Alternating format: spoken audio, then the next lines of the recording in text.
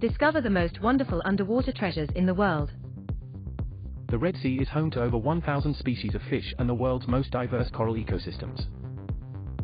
The Arrecife Musa in Mexico is an underwater sculpture park featuring over 500 life-size sculptures. The Yongala shipwreck off the coast of Australia is a popular diving site and home to the biggest coral reef in the world. The Belize Barrier Reef is the longest in the Western Hemisphere and the second largest in the world. The Great Blue Hole off the coast of Belize is the world's largest natural sinkhole that plunges to a depth of 125 m.